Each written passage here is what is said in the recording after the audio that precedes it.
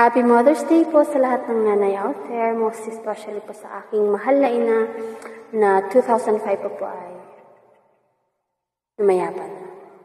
Sana po ay